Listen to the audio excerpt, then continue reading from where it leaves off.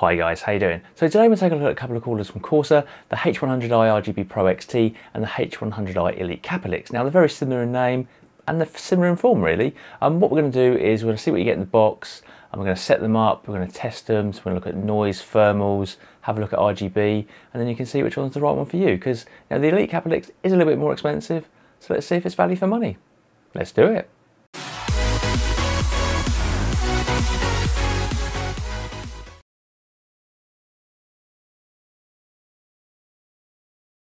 So if we have a look at the specs for each unit, the information's on screen. Can you see what the difference is?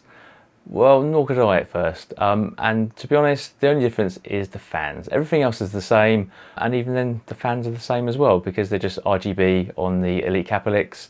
Um, yeah, so from a specs point of view, there's no difference. They're both very good, so it's a draw.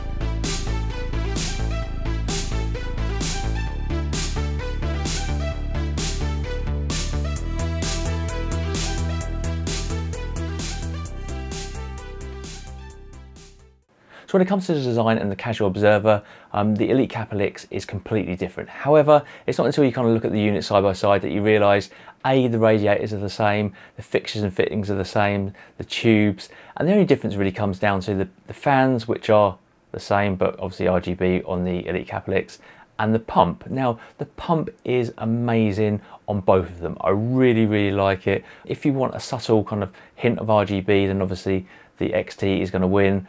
So another great thing about the Capellix is it comes with a replaceable faceplate. Um, obviously the one that's pre-installed and then there's another one in the box.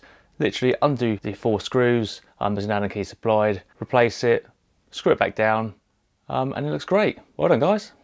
But yeah, it's such a gorgeous looking pump on the Elite Capellix that yeah, I just I just absolutely love it. So from a design point of view, although they're very similar, I think the Elite Capellix wins just because it's just just slightly better.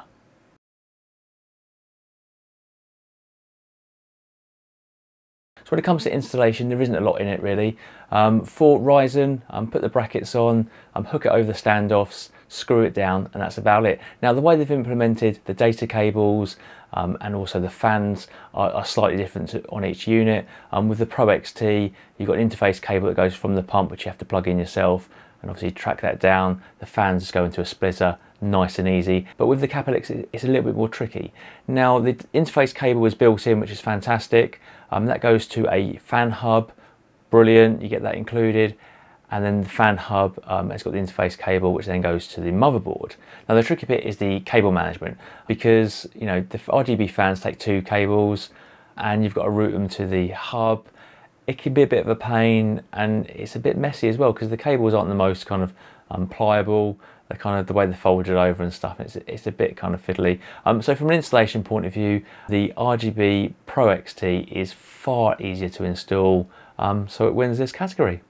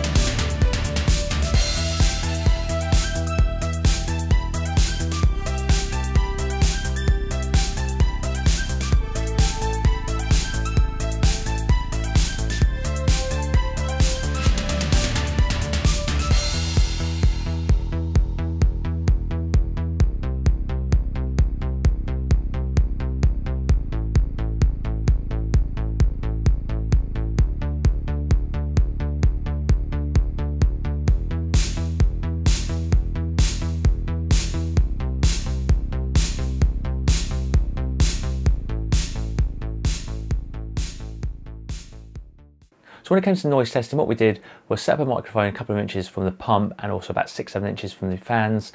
Um, we turned the case fans off. The GPU was running at about 25% because that's the lowest I could get it. Um, and then we go from 20% all up to 100% on the AIO. Um, and also we have a little listen to the pump noise. So let's have a little listen to those now.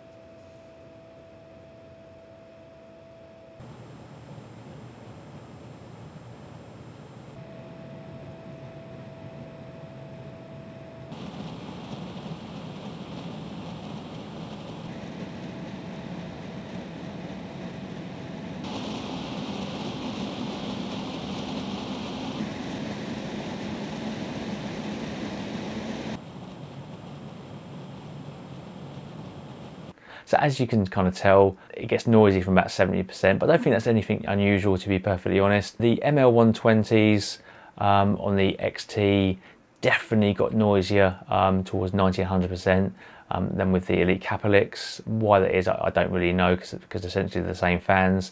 But for me, the disappointing fact was that the pump was noisier on the Elite Capellix. I thought they may have redesigned it in some way that made it um, a bit quieter. Um, but you know, to be honest, after about 50% um, fan noise, you don't really kind of hear it. So for me, it's um, it's a draw.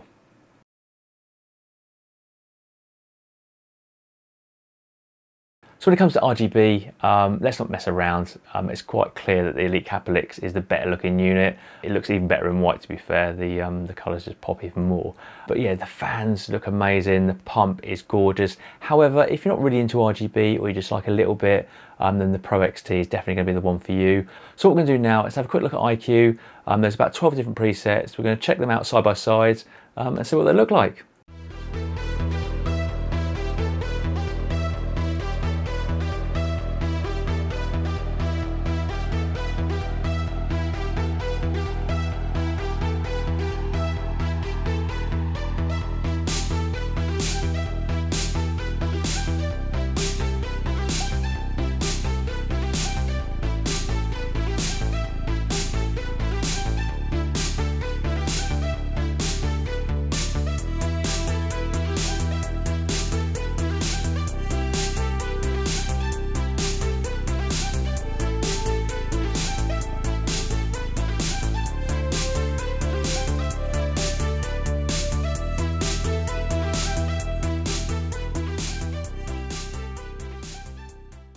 So for thermal testing, we ran Cinebench 23 for 30 minutes. We then watched the world go by in Cyberpunk 2077 for 30 minutes, and then we went into Valley for another 30 minutes. And, you know, to be honest, the temperatures, there was nothing really to choose between them. Obviously, there is a slight difference, and that could have been the ambient. Um, obviously, I've adjusted them to make them kind of the same. And, you know, if you think about it, you know, the fans are the same. You know, the one's RGB, one's not, um, but they are ML120s. They were both running at 60%. So yeah, I suppose you're going to expect it to be the same. The difference really, I suppose, would come down to the pump, but the pump is basically the same. So yeah, so there's not really anything to kind of choose between the two of them. So it's a draw.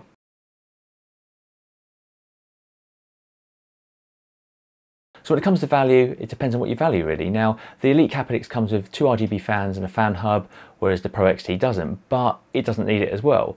Now, the price of them is is quite different as well. Now, the Pro XT comes in about £100, whereas Elite Capellix comes in, say, £120 for black and 130 for white. Obviously, you know, depending on your region and and obviously promotions and all of that depends on, on what you're actually going to pay at the end of the day.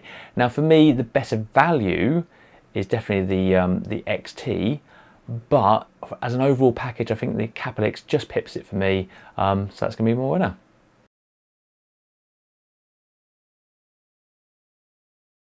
Guys, I'm just going to wrap up the video now, give you my final thoughts. Um, and my final thoughts are that basically there isn't a lot in it. You know, it comes down to aesthetics, um, whether you were like RGB um, a lot or just a little, um, and also kind of how much you want to spend on a cooler. Now, if you want a better budget option, then the Pro XT is definitely the way to go. Um, I've been using it for a long time and I really like it. The Capellix looks lovely, but it kind of doesn't bring anything else to the table. You know, it's the same, it's the same cooler. It really is. So yeah, it's, it's a tricky one. Um, obviously, it'll be down to personal preference which one you choose. They're both good choices. Um, so I'm going to leave it for you to decide. Guys, if you enjoyed the video, like and subscribe, and I'll see you in the next one.